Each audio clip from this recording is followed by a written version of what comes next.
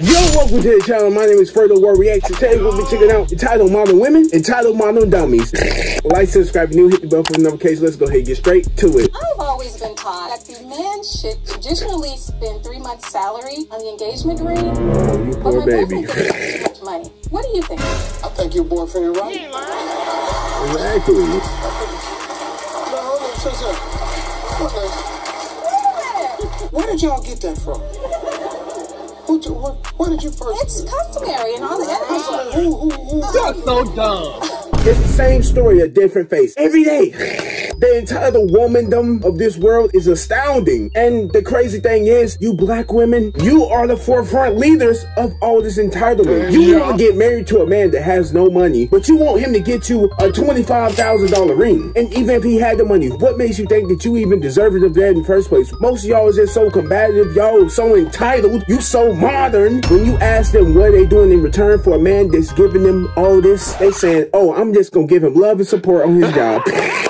He can't even afford to give me the engagement ring I want if I make it three hundred thousand dollars. He can't even give me the ring I want to propose. The ring you want at sixty thousand. Hold on, hold on, hold on, Noble, hold on. The ring you, stupid. he's proposing to you. So shouldn't it be the ring he picks out that he feels is absolutely not. Absolutely not. Why would he pick mine engagement ring?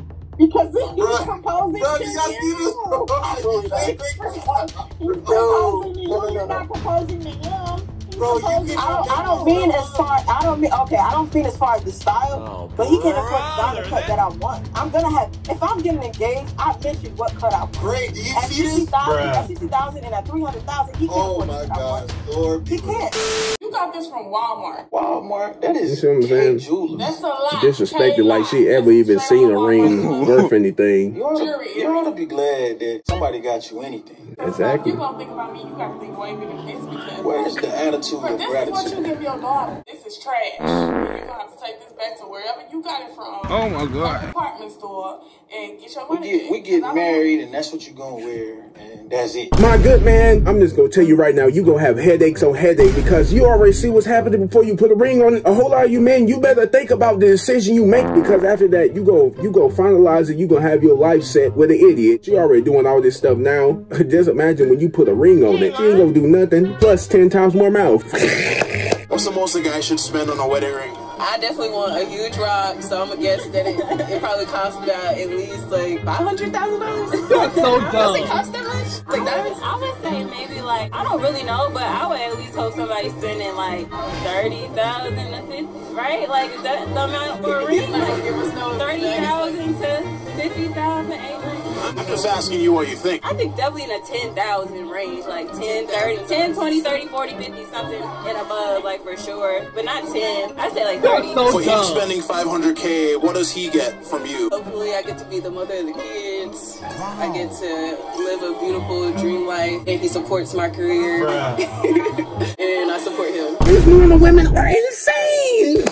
What is the gift that is gonna be given once he puts the ring on your fingers? And the only thing she has to say is, I hope he support mine. That I'm gonna support his.